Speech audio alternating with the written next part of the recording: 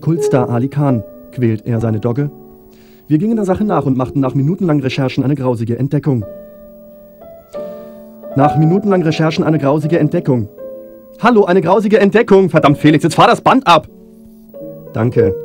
Die wahre Geschichte ist so fantastisch wie der Beliebtheitsgrad des TZ-Reporters. Ali Khan muss an einer massiven Eisenkette Tag und Nacht unter einem baufälligen Hauseingang sein armseliges Leben verbringen. Völlig verschüchtert zieht sich die geschundene Kreatur bei unserem Besuch in ein Eck zurück. Diese beiden abgenutzten Fußmatten sollen Ali Khan im Winter Schutz vor der bitteren Kälte bieten. Doch nichts ist so kalt wie das Leben des Moderators selbst.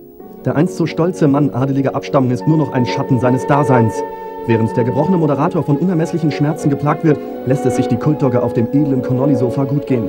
Selbst unsere Dreharbeiten lassen in dem Untier keinen Zweifel an der unsachgemäßen Haltung des Moderators aufkommen. Im Gegenteil. Der schwarze Vierbeiner begegnet uns mit Gleichgültigkeit und ist zu keinerlei Stellungnahme bereit.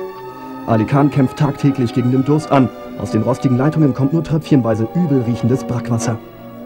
Manchmal schleichen sich Nachbarn auf das asbestverseuchte Gelände in Ismaning, um Khan einen Napf mit stinkenden Küchenabfällen vor den Unterschlupf zu stellen. Doch sein Herrchen lässt Ali zu wenig Auslauf.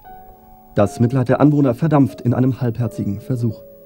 Die grausame Dogge schmückt sich indes mit schnödem Mammon, finanziert durch Khans Lohn für seine allabendliche Moderation. In den wenigen Momenten, in denen der gequälte Perser sein Schicksal selbst in die Hand nehmen möchte, schreibt Ali Briefe der Sehnsucht an sie. Doch jeder von uns sieht beim Anblick dieses Unrechts einfach weg. Manchmal, nach einer gelungenen Sendung, darf Ali Khan zur Belohnung ein bisschen trommeln, aber selbst diese Freude ist niemals von langer Dauer. Denn mehrmals am Tag wird er Opfer einer brutalen Vergewaltigung durch sein Herrchen. Die Sexualpraktiken, die Khan über sich ergehen lassen muss, sind schmerzvoll, aber die Kultdogge genießt seine Macht. Sehen Sie in die Fratze des Bösen und lesen Sie auch morgen wieder die TZ, wenn dort zu lesen ist, dass Ali Khan seinen Redakteur quält.